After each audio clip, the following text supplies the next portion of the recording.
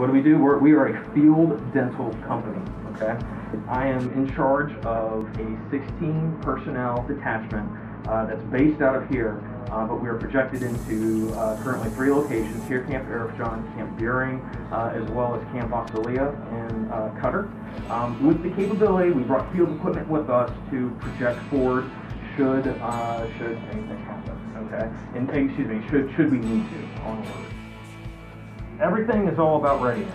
We all know that, okay? How does that apply to dental? Most people see it as a, as a green or amber or red light. Um, we see it as something that applies directly to the battlefield.